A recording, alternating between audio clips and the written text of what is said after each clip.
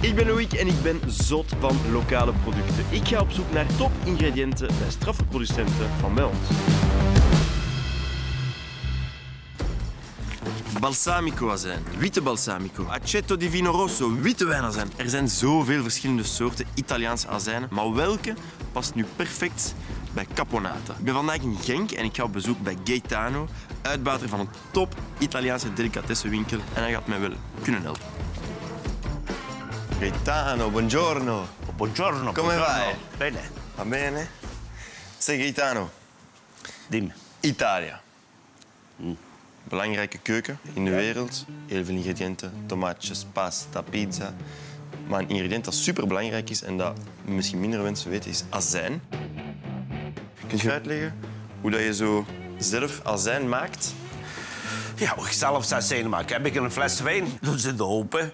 Eh, pak ze een eh, spaghetti. Eh, spaghetti zetten ze daarin, drie, vier dagen op tafel. En dan heb je, dan heb je zijn. Gewoon een flesje wijn, spaghetti erin. Daarin, dan wordt dat Drie zijn. dagen op tafel en dat is azijn. Dat is dat zijn.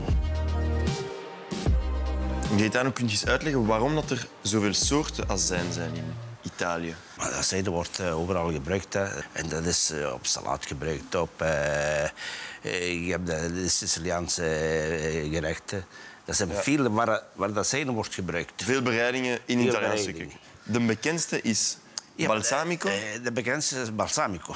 Kunnen wij uw verzameling zien? Zijn. Oké. Wat is eigenlijk al het verschil? Want als je in de winkel staat, hoe weet je wat je moet kiezen?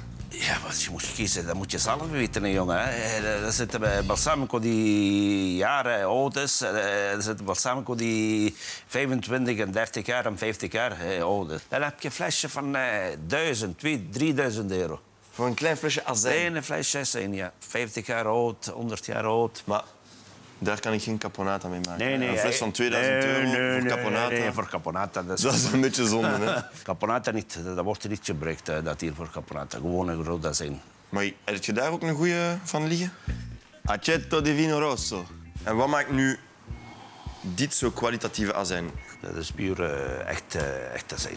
Daar wordt niks aan toegevoegd. Nee, geen niks, eh, eh, niks. druivensap, wijn, Wijn, azijn. Azijn. Dat is de volgorde. Kun je het nog eens een keer proeven. Niet te veel wel, want... Nee, nee, eh, want dat is, het eh, bitter. dat is zuur, hè?